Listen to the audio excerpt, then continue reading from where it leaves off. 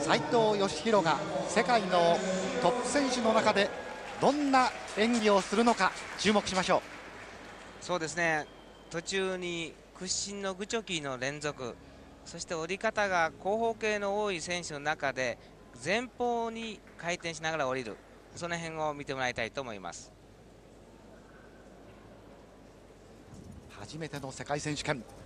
この技。そうですね。お場内から歓声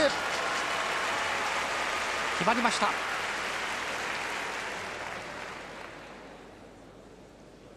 ああいう倒立の時にも足先が動いてるんですね、まあ、これが今後の課題になると思います。前方にそして最後はひねって、はい、着地は決まりました。よかったですよ。彼本来の力は発揮できました。